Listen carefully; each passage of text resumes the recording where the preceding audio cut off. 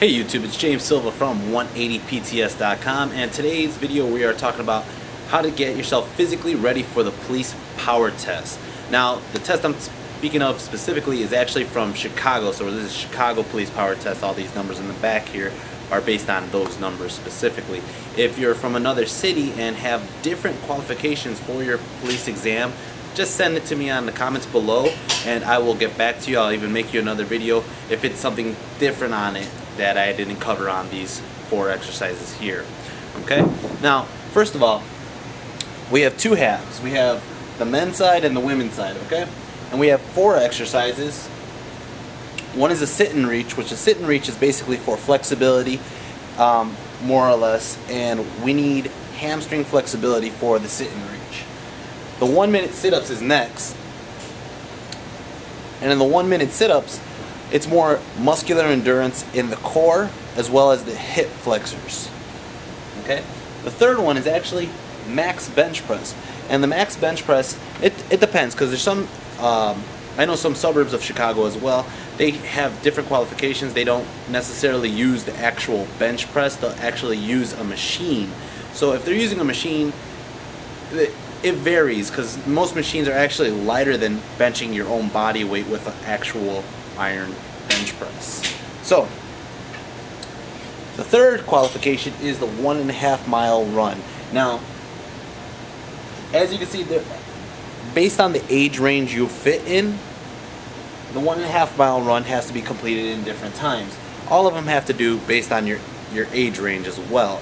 So um, let's get started on this. Let's go over the first one, which is the sit and reach, and we'll get right back into it.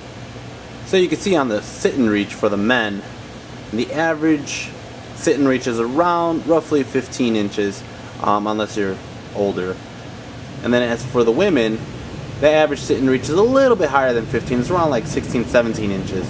So for the box test, the box test, since we don't have a box here, I'm going to explain to you how the box te test works basically where your heels are at is usually the 15 inch mark okay so the first thing you want to do is for your age range and since I'm actually uh, 30 I'm, mine's 15 inches so I have to get to about right there so you have to reach forward to touch at least 15 inches which is where my heels are on this line okay if you have to go 16, 17, 18 inches, you actually have to go further.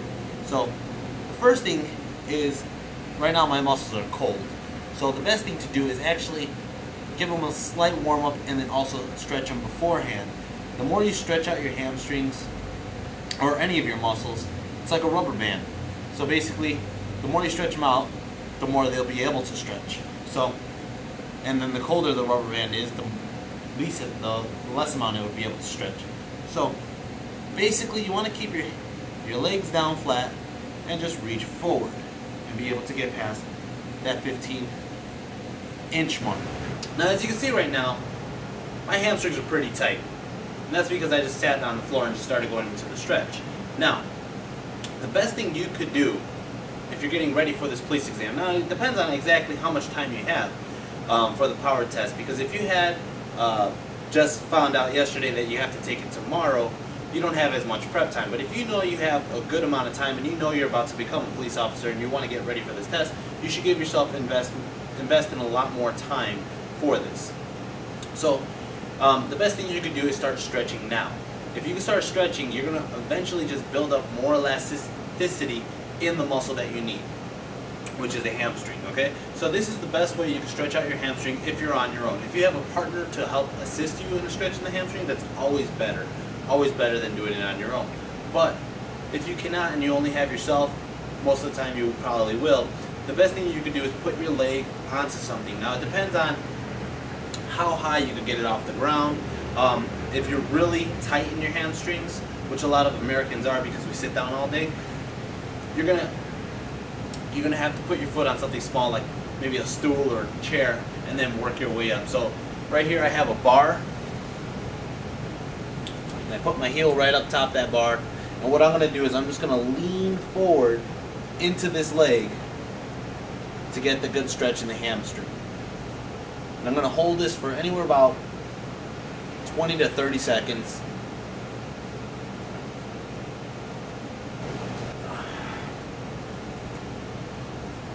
And then do the other leg.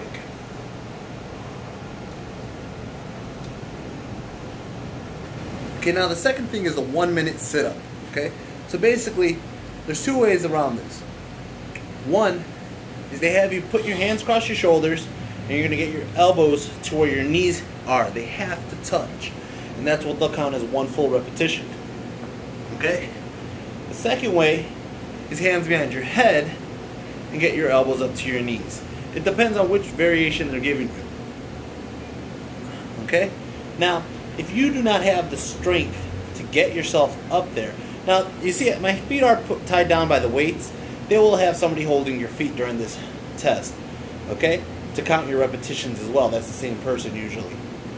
Now, there's if you do not have the strength to pick yourself up, as much as you want to believe it might not, your stomach might not be strong enough, it also could be your hip flexors, okay? Now, if you can get yourself up a couple times, but you're struggling at the minute, like, and you're only getting 15 or 20 reps done, and you need to get through to anywhere from 37 to, well, 23 to 37 roughly. If you have to get around that range, the best thing you could do is start adding weight into your ab routine. Because what that's going to do is that's going to help build muscle strength as well as muscle endurance. And then when you're not using the weight, you'll be able to perform more repetitions than you would with the weight, obviously. So we'll practice with doing it where you have the ball right around your chest and you're doing the sit-ups. Okay? You can also do it where you keep the ball over your head and do the sit-ups.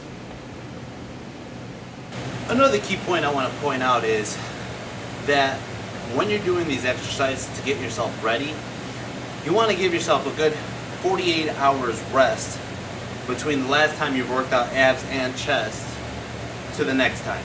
Okay? And especially if you're about to do the, the, the test itself, the power test itself, you want to give yourself that 48 hours rest or even a little bit more so that way your body's well rested and ready to perform these exercises. Okay? Now, the second exercise here is actually for the hip flexors, because this is the muscle that actually helps bend from your hip to your stomach um, for the sit-ups, okay? So this is another exercise that you might need to actually strengthen to help get you to do perform that many sit-ups in the amount of time. Alright? So what you're to do is just taking your knees straight up like this and right back down, okay? If this is way too easy for you, you can always go straight out with your legs to help build more muscular endurance.